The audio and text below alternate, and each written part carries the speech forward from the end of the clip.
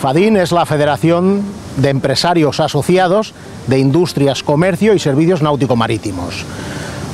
Desde la creación de ADIN en el año 69, siempre hemos apostado por una asociación, un colectivo fuerte de ámbito estatal.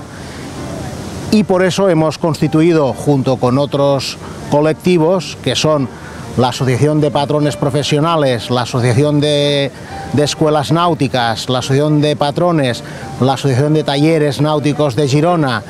y las Federaciones Deportivas de Motonáutica y Pesca, hemos promovido la creación en mayo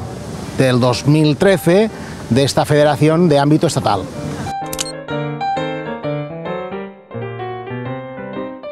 Bueno, pues lógicamente FADIN se dirige a todo el colectivo de entidades que forman parte de los distintos subsectores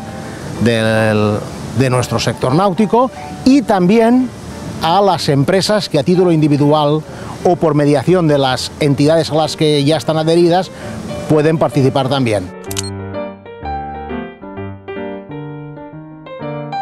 El ámbito de actuación de FADIN es de ámbito estatal. No obstante, nuestra manera de trabajar es a nivel subsectorial. Dentro de FADIN tenemos cinco asociaciones subsectoriales, una de, de varaderos y talleres de reparación, otra de vendedores de embarcaciones y brokers, otra de empresas de, de actividades náutico-turísticas, otra de eh, empresas de pesca recreativa, las escuelas náuticas y distintos colectivos. En estos pocos meses de vida hemos conseguido aglutinar por las entidades a las que representamos aproximadamente unas 500 empresas y esperamos alcanzar las 1000 en el año 2014. Los objetivos de FADIN son aportar nuestro granito de arena y contribuir para que el sector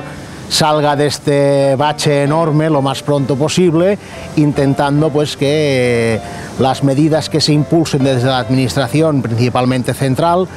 promuevan eh, la liberalización del sector, la facilitación de las titulaciones, la supresión de los impuestos y la abundancia de las infraestructuras necesarias para el desarrollo del sector y en particular de la náutica de iniciación. Podríamos decir que la principal preocupación que tenemos hoy en día en Fadín es la iniciación a la náutica, porque nos encontramos en un momento en el que, debido a las circunstancias económicas, hay poca gente que adquiera una primera embarcación, hay poca gente que se dedique o que intente eh, averiguar qué es esto de la náutica y por eso queremos promover todo lo que son las actividades náutico-turísticas, el alquiler y también la compraventa de pequeñas embarcaciones.